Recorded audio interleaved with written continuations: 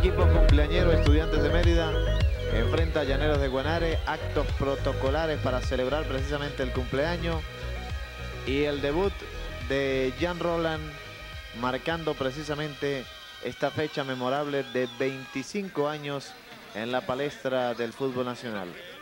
Madrinas, la presencia de Baltasar Porras, Monseñor que estuvo en el estadio y el equipo que saldría a la cancha.